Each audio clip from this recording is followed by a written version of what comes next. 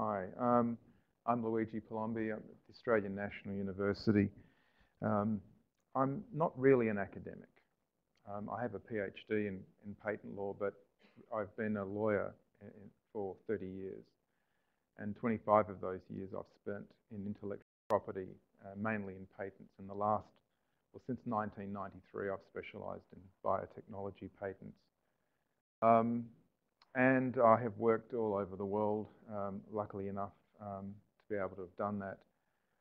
Um, and uh, so consequently, I'm, um, I've become fairly immersed in this whole area of what the patent system does and what it supposedly lives up to.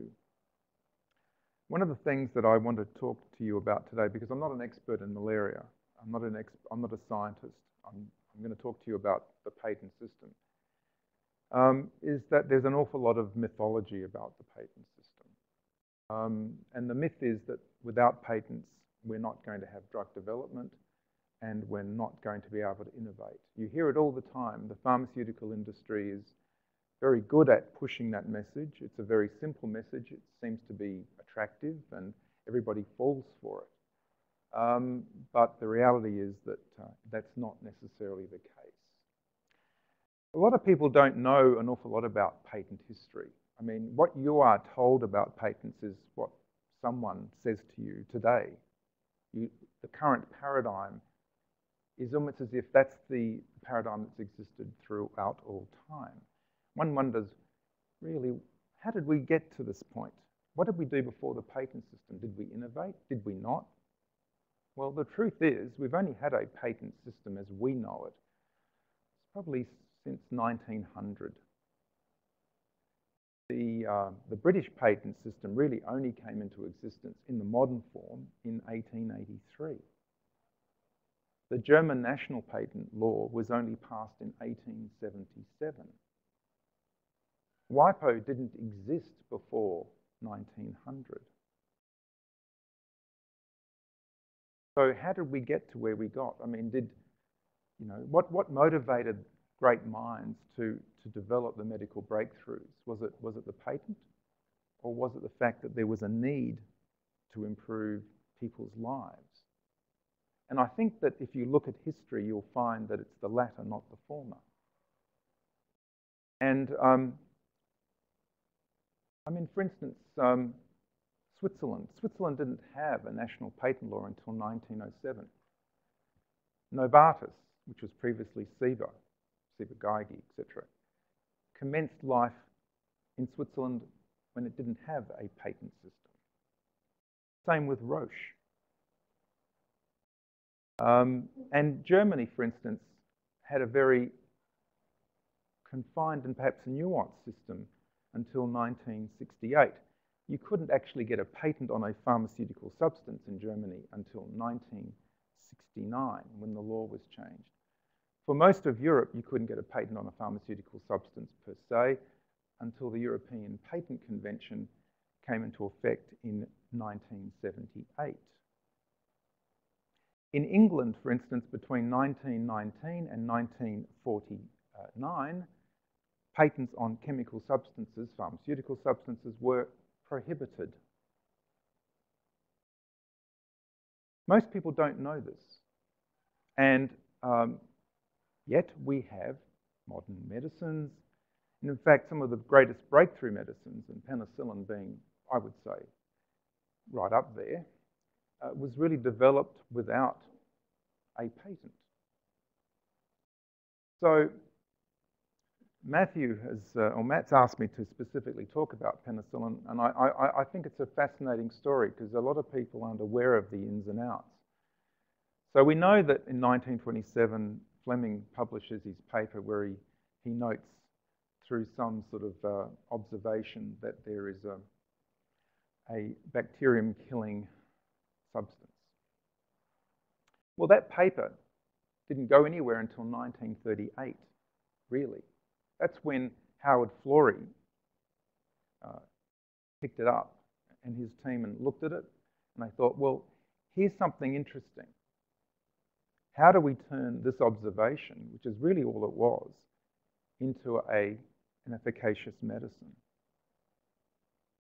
So Florey and his team, which included Ernst Chain and Norman Heatley, and there were a whole lot of other people, basically worked in an underfunded section of Oxford University between 1938 and 1941 before penicillin was ultimately developed and shown to be an efficacious medicine in humans.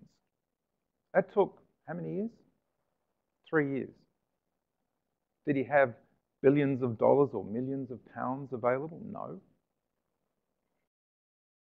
Yet, proving that you could go from Fleming's observation to the production of the world's first antibiotic was probably one of the biggest breakthroughs and probably changed uh, the lives, well, a lot, certainly a lot of soldiers during World War II. And yet, funnily enough, when that breakthrough happened, do you think the British government had an easy road when it came to convincing pharmaceutical companies to manufacture penicillin? No. The British government went cap in hand to the pharmaceutical industry and said, here it is, it's a, product, we know it works, we just need to be able to produce it in sufficient quantity so that we can use it for the war effort. No, we're not interested. And um, it took the British government actually um, quite a lot of effort. Um, they actually built a factory. Taxpayer funded money was put into this.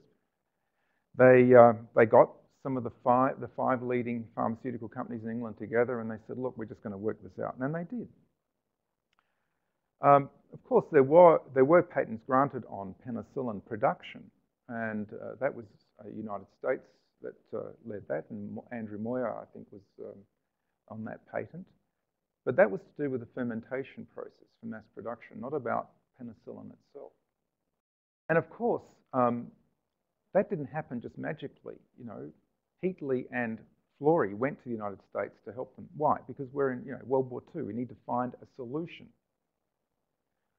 so I think this whole idea that we need a patent system to promote drug development is, is, is got to be re-evaluated. Know, clearly it may have a role in certain, in respect of certain drugs. And there's no question that in the existing paradigm, um, the pharmaceutical industry has become very reliant on the patent system in order to, um, you know, develop a business model that works for it.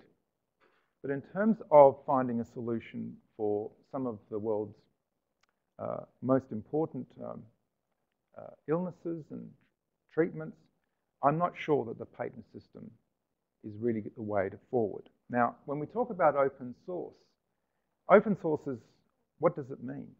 Open source what? I mean, open source seems to me to be really uh, an excuse for trying to work around the patent system or in current intellectual property paradigms. Copyright, for instance. It really grew out, it grew out of this whole issue over software, patenting the source code, open source, letting the code out, sharing the code. I'm not sure how it works in terms of drug development, but let's assume it means something which allows people to use other people's intellectual property in a particular way. The question is, why should we be having intellectual property on some of the things that we're granting intellectual property over? And in terms of drug development, this is important because we're no longer just talking about drugs over chemical substances. We're not talking about, you know, short molecules. We're talking long molecules. Modern drug development is changed. We're looking at biological drugs, drugs with biological activity. We're looking at research tools. There are a plethora of patents over research tools. We're talking about patents over naturally occurring biological materials. Why are we granting patents over these things? Why do we need to create an open, so why do we need to talk about open source in respect of these things when perhaps we shouldn't even have patents over these things in the first place? So what's happened over the last, particularly since 1980 and so forth, is that the scope of patentable subject matter has grown phenomenally, with the result that it is more and more difficult for scientists to firstly share that information openly, uh, and secondly, it's created uh, a, a, change in approach within universities. So around 1980, uh, you get this thing called the Bayh-Dole Act passed in the United States. Now, I don't mean to be terribly critical of, of those senators because I, I, think they were well intentioned and, intentioned and well meaning. And certainly there are one or two stellar examples, and one of them actually occurred before the Bayh-Dole Act even passed, where uh, you know, universities were able to patent certain things and, and make a lot of money out of it. And Stanford University is the case in point uh, with uh, Cohen and Boyer's breakthrough. And that, but um, and that happened before the Bayh-Dole Act. But really, the Bayh-Dole Act has failed.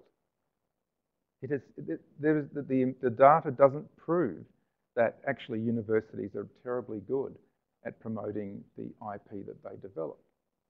In, in fact, they're not very good at it at all. But what it's done is it's created a perception within universities that they too, like the commercial partners they wish to work with, have to create intellectual property. And what we now have are universities that actually are very draconian in the way they implement their IP policies. I mean, there are IP rules everywhere in universities. The universities, once the citadels of sharing and learning, have become part of the system, part of the mythology of the patent system. And it's having an effect all the way down through the universities. So I, am sort of very concerned about the way universities are reacting. And I'll give you an example of what I'm talking about because I'm not just making this up. Um, for three years, certain politicians and the Cancer Council Australia and Royal College of Pathologists, etc., have been trying to get legislation passed to scale back the scope of patenting, to perhaps bring back to into the public domain uh, materials that are currently being patented, natural biological materials. So the draft legislation basically says that naturally occurring biological materials, whether they're genetic or whether they're protein, doesn't matter, that exist in nature are not patentable subject matter. One would, have, one would think that that's reasonable. One would say these things are not inventions, therefore they have no business being patented. And yet, this university filed a submission against the bill. So did every, eight, every sandstone university in this country. So did Walter and Eliza Hall. So did the Garvan. Right? These are all institutions that rely on taxpayer-funded research. I mean, Walter and Eliza Hall gets out of its $77 million operating budget in 2010, 55 million of that came from the Australian taxpayers. Yet these, these organisations are arrogant enough to file submissions against a bill which merely tries to open up the field so that research can happen freely. There's no, no need for open source, no need for you know, licensing re requirements. Just get it out there. And they all filed submissions against, and they weren't the only ones. Scientist after scientist after scientist. My God, says the Murdoch, you know, this is going to threaten our ability to conduct research because we're not going to be able to get the funding for our research because we can't get a patent on a gene. And when we talk about, you know, the Gates Foundation, my goodness me, don't think that the money that the Gates Foundation gives out comes without strings. It certainly does come with strings. I won't mention names or organisations because the information I've been given is fairly sensitive, but I can tell you that um, an Australian vaccine development um, for a uh, tropical disease, um, which would help many, many infants in third world, um, the funding for, let's say, human trials is the subject, has to be the subject of a patent. It's actually mandated in the, uh, by, the, the, by the granting authority. So what are we doing? What are we doing? We're creating a whole series of monopolies and then we're trying to find a solution calling it open source. I'm not critical of, of the surprise. I'm not critical of those who are trying to pursue this. But I am critical of the current system, which, which means that we're running around trying to find solutions when really what we need to do is clear the path, clear the way. Look at, this, look at what we have and say, do we need to go back in time? And uh, I think you'll find that if we look at history, look at what happened with penicillin and other uh, major drugs. I mean, look at polio vaccine. That wasn't patented. And what did, what did Salk say when he was asked, you know, why didn't you take out a patent? Well, can you patent the sun, he says. So I think the message that I'd like to uh, uh, sort of hand over to you is that I think scientists have become part of the problem because you've actually all become susceptible and vulnerable to the myth that you need patents in order to A, get your funding for your research, and your universities aren't helping you, your research institutes aren't helping you there, and certainly the drug companies aren't going to help you there. I mean, sure, they'll, they'll, they'll be happy to share money and give you money, but with strings. Always with strings. No one in pharmaceutical land, there is no such thing as a free lunch, okay?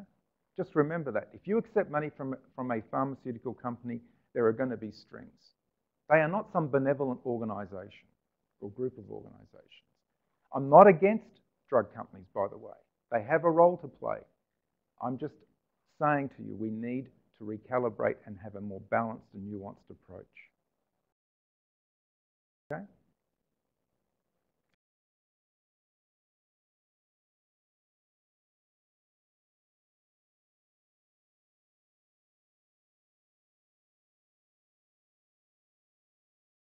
I have a, I have, I have a question. Um, I work for one of these organisations. This, Can, you, can, the you CS name, can you name them? Yeah, the CSIRO. Ah, we are right. a government. We're, we're, we're funded by taxpayers' money, but not completely funded by taxpayers' money. We have been tasked by the government to, you know, earn part of our keep. As a research organisation, we've been tasked to not deliver science anymore. Well, sure, we have been tasked to deliver science, but actually also to deliver budgets. Yeah. Diagnose the problem for us, and we're susceptible. We've got incredibly strong IP protection for everything we do. Diagnose the problem for us, but how? Now, give me a solution. How do I go back to my management and and actually make the, the argument to them? How do I show them a path forward in a way that they can they can they can understand? Yeah. And I, I haven't gotten that from. Who's your CEO? Sorry, Who's the C- CEO of CSIRO at the moment? Megan Clark. Who is it? Megan Clark. Megan Clark. Isn't who's the head of the CSIRO? Megan Clark.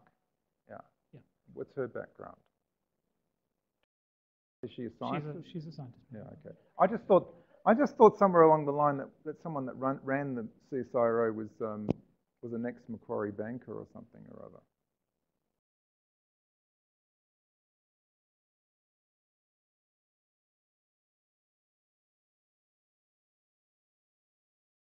Oh, okay. yeah, The, the chairperson. the That's right. CEO is Yeah. Yeah, well, you know, look, in the good old days, the CSIRO was properly funded, um, and now it's not. Yes. Right.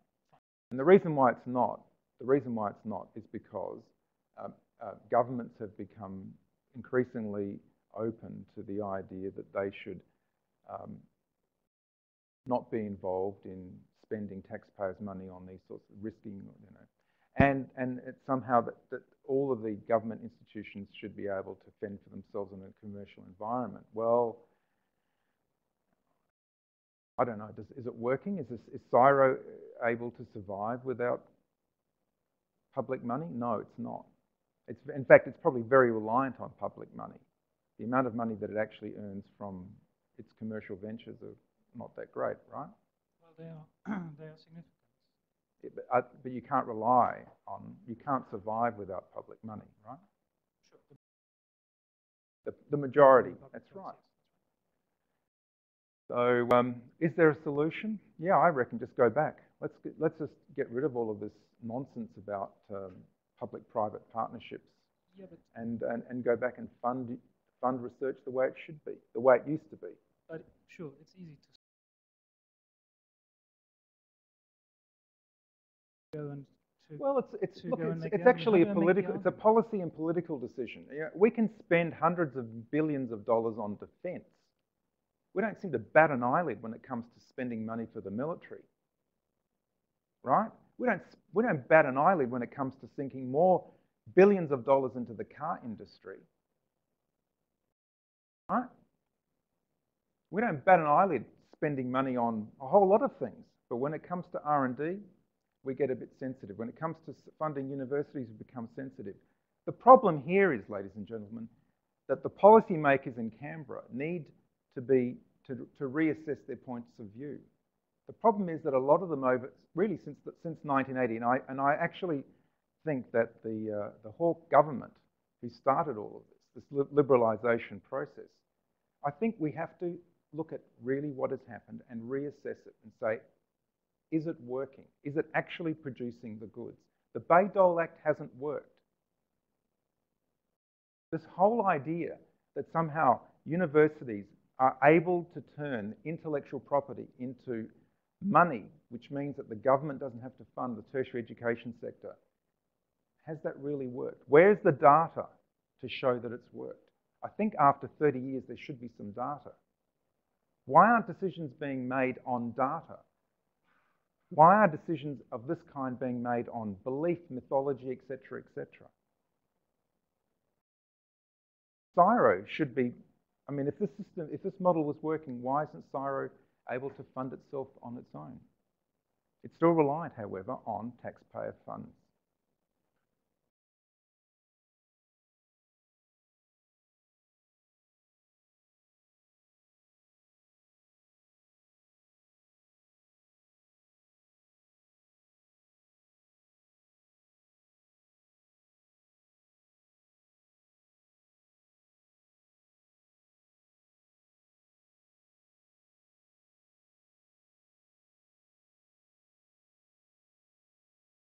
No, now it's on. Okay, cool.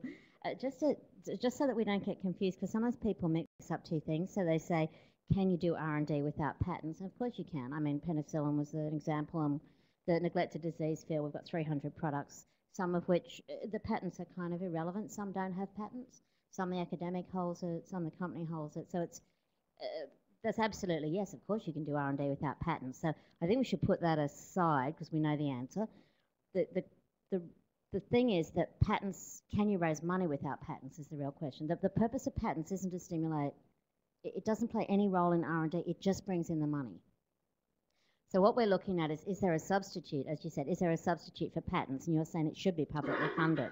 And, and that's, that, that's probably true, I mean, in, in many cases, but the thing is it's very hard to, as you've said, it's hard to persuade governments to put up $50 billion a year. They, it's hard to do. And they, like patents because it saves them having to put it up or having the risk. In fact, though, they pay for it in the end. It's not like the company, the company passes on the cost. It's just that governments prefer to pay at the end because in their heads they say, I'm not paying for all the failures. Of course they are. The company factors in the cost of the failure drug.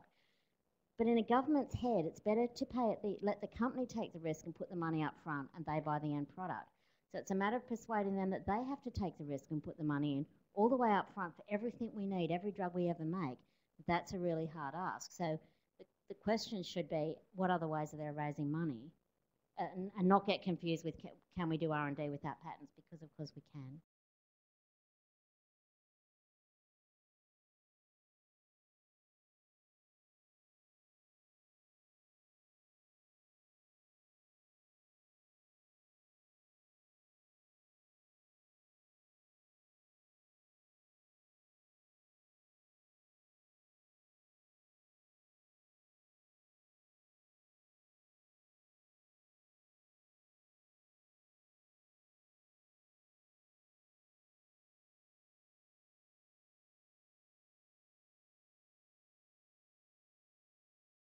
Um, look, uh, in terms of counterfeiting drugs, um, are you talking about drugs that are produced um, because they're, they infringe a patent, or are you talking about just drugs that are produced um, backyard laboratory that don't actually does, doesn't actually contain any active ingredient? What?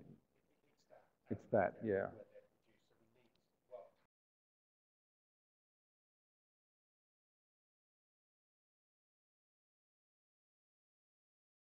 Yeah, I, look, you know, look in, in Australia we're lucky. We've got the, you know, we've got a reasonably good regulatory system. I suppose the same goes for most developed countries. In the developing world, um, it, you're going to have the same problems if the regulations and the way the regulations are administered are lax, and there aren't the there aren't, there aren't the proper enforcement enforcement systems to ensure that. And we're not talking about patent infringing drugs. We're talking about drugs of poor quality. Um, then um, this is a serious issue. Um, um, how do we deal with it? Um, have, I mean, have better regulate have, have better regulation within these developing countries. Yes, I absolutely agree because mm. the issue with fake drugs or sub-quality drugs is not patent. It can be within and or outside a patent. It's just that yeah. whether it's a patented protect the, you know, the quality of the drug. I mean, even, even the mechanism really. is absolutely no, no. The mechanism is totally different. You have a total, diff, totally different authority that is supposed to take care of these things, you know, and it's not dependent upon the patent. Yeah, not, not. The, unfortunately, there's some confusion already growing. I'm not sure if you're aware of it. There's a, there's a, um, an international agreement called the Anti-Counterfeiting Trade Agreement, which has been uh, signed by Australia but is yet to come into force. And there is some opposition, there's a lot of opposition to this agreement. Um, and part of the reason why there's opposition to it is that the terminology in the agreement, it's, it's directly linked counterfeiting to intellectual property infringement. And it's confusing the issue, especially in relation to drugs, because there's a separate counterfeiting problem, as, you, as you've identified. I mean, even I think last week in the United States, um, Genentech issued warnings over an, a, a, counterfeit Avastin. Um, and I mean, how do you deal with it? I mean, it's essentially passing off. I mean, what, what's going on here is that there are organisations who are going to rip off the trademark system. I mean, these, these uh, ampules of Avastin or bottles of Avastin use the same trademark. They look the same. The whole works. It's um, it's not a question of intellectual property infringement. There's probably not even an active ingredient in those bottles, so there's no, there's no patent infringement involved. It's just that they're merely passing off what is nonsense as an active drug for the purposes of making a lot of money.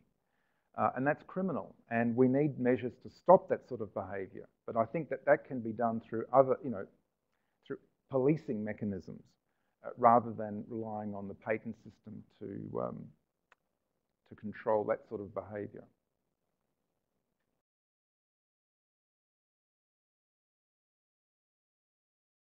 Question from a, an online um, person. There's a what effect and impact could the the Myriad patent case currently before the Fed court have on the question of patents and genetic material, with respect to his ultimate aim of finding a political or policy solution to this problem? Um, Okay. In Australia, we've got um, uh, the, the, the, definition of patentable subject matter goes back to this, the legislation of 1623, manner of new manufacture. So this particular case, the Myriad case, is about interpreting that provision in the context of isolated BRCA1 genetic mutations. Are isolated BRCA1 genetic mutations, as defined in the patent, patentable subject matter within the term manner of new manufacture.